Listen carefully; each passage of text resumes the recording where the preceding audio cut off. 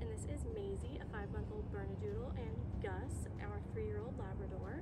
They were with us for a two-week off-leash board and train. When Maisey and Gus came to us, um, they definitely didn't have very many leash manners. Um, Gus has places to be and he would pull you to them, and Maisey just enjoys zigzagging the entire time. Um, Maisey also loves to be outside and had absolutely zero recall, which was very frustrating for her owners when they were trying to get her in from outside.